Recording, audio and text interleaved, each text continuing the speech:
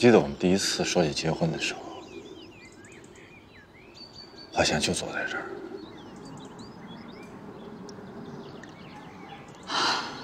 对，是这儿。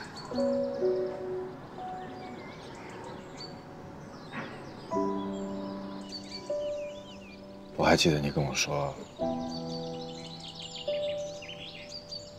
我们结婚之后，所有时候都得听你的，要拿你当领导，工资上交，按时回家，要把你妈当成我的亲妈。最重要的是要守着你，护着你，任何时候都不能发脾气跟你吵架。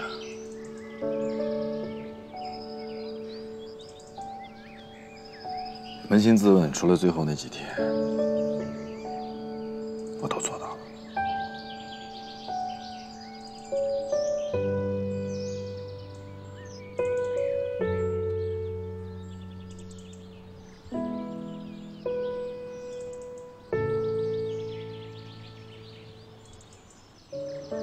是我太过分了，太肆无忌惮了。我只顾自己的感受，我想当然的以为这就是我理所当然该过的生活。我从来没有顾及过你的感受，我从来不知道你活得这么辛苦。真的对不起。没有，毕竟我答应过你的，事实是我没做到。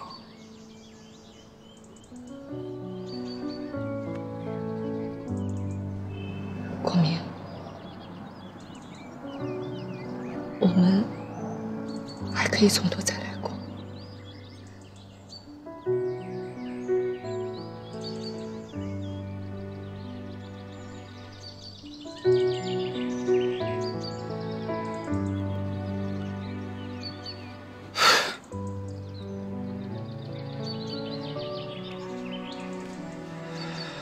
过。来不及了，一切都过去了。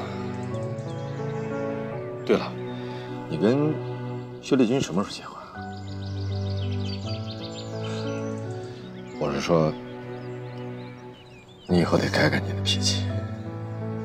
如果想跟一个人在一起生活，啊，当然，你现在已经改了很多了。这是薛丽君的父亲。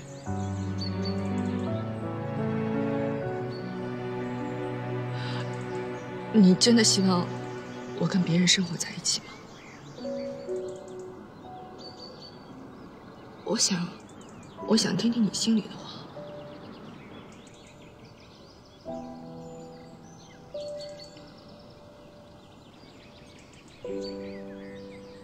我只是希望你幸福，希望你跟天天都幸福。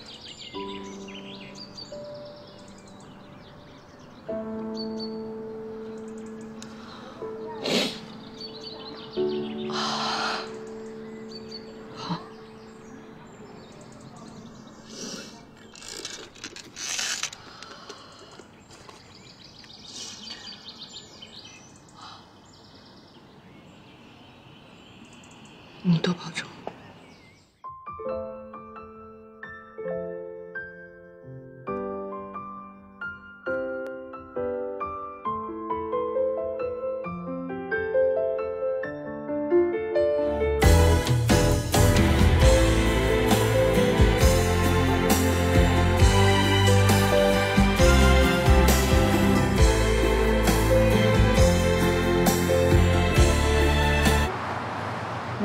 家具吗？怎么跑这儿来了？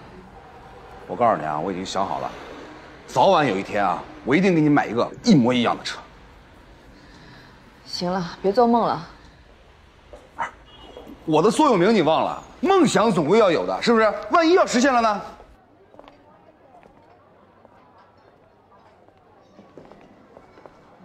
哎，丁雪，你看这套家具怎么样？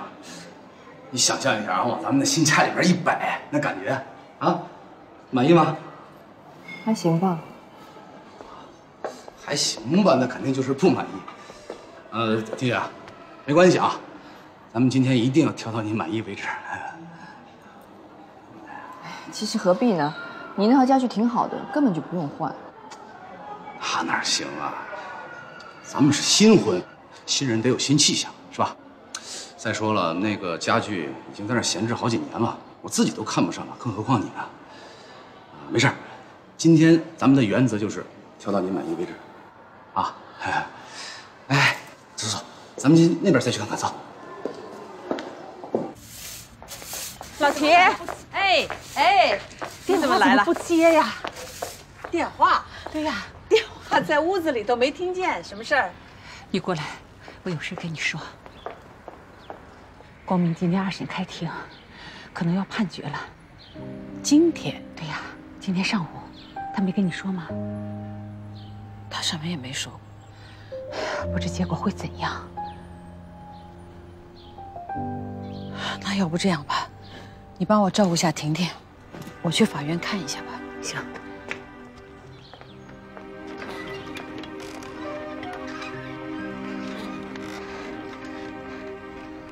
婷婷，梅姥姥怎么了？没事，宝贝，姥姥有事出去一下，梅姥姥给你扫好吗？婷婷乖啊，姥姥一会儿就回来，拜托啊，慢点啊。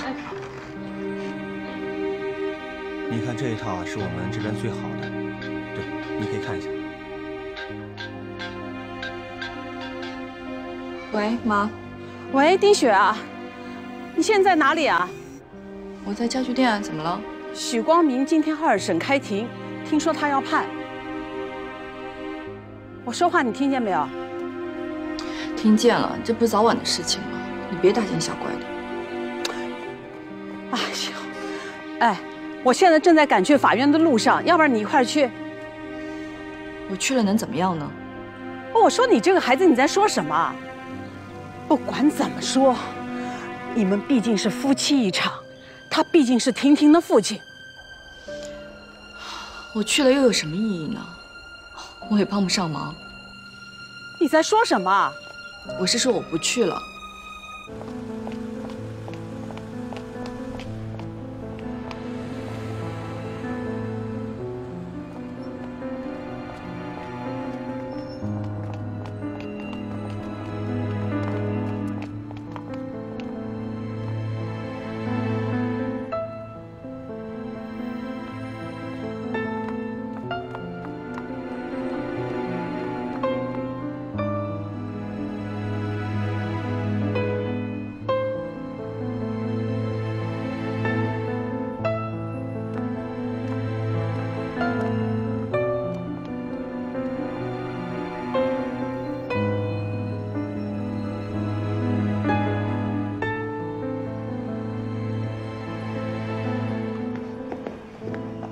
见，阿姨，您来了。怎么样啊？刚刚判。我想知道宣判的结果怎么样？啊，时珍药业败诉了，我们是密特赢了。啊啊，那这么说的话，光明就没事了。光明被判了三年。为什么？你们不是赢了吗？他出卖商业机密罪不成立，但是因为那个声明书，声明书什么声明书？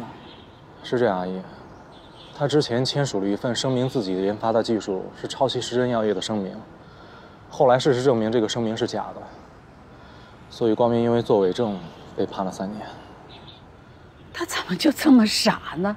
他这么样做不是自己把自己给害了吗？是啊，我也问过他。但是他就是不告诉我为什么，一定是李梦竹让他这么干的。应该不是。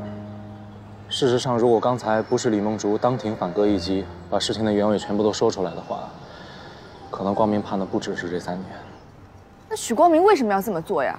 他干嘛要签一份根本就是子虚乌有的声明书呢？这恐怕只有他自己知道了吧。康健，今天阿姨要说你了。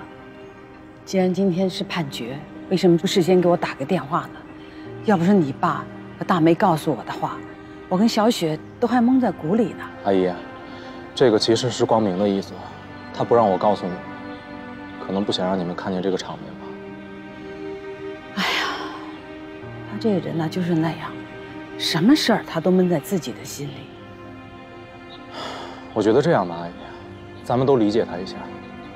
可能光明这么做，也是想在你们俩面前留点自尊吧，也省得您难受，对吧？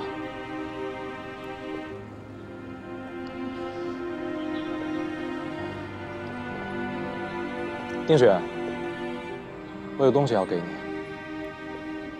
妈，你等会儿别动。这是光明让我给你的。这是什么？